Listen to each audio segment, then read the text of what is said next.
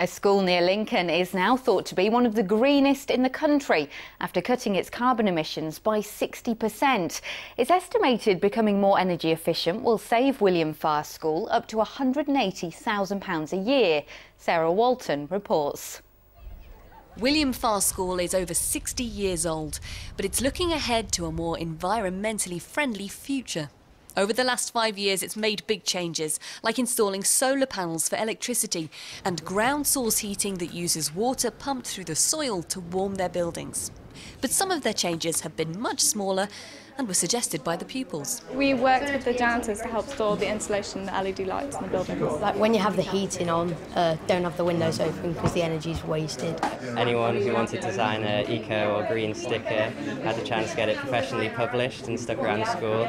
The head says it'll take six years to cover the cost of the changes, but after that it'll save them £180,000 a year, money that's needed more than ever. I'm sure I'll be facing another budget cut. We know it's coming. uh, be, it's a significant problem for all schools. But clearly, if you're spending £180,000 simply on, on lighting and heating, very naturally that money not being used for that would go towards the education of the children and what could be better.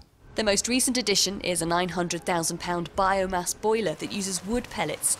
The company that installed it helped the school finance the project and says many are being put off by the costs involved. We work with them to showcase that this actually is doable within Lincolnshire and actually all over the UK. We know that there is funding out there, there's investors that want to do it, um, there's, there's companies like us who have the capability of changing a school completely. But it's not just about money. William Farr's been supported by Lincolnshire County Council. It says if more schools made these changes, it could revolutionise carbon emission levels. Schools make up about 66% of the County Council's carbon footprint, so we need to work with schools.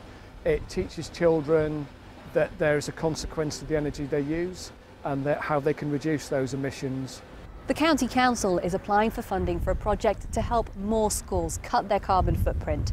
And William Farr says they'll keep looking for ways to become more energy efficient. Sarah Walton, BBC Look North in Lincoln.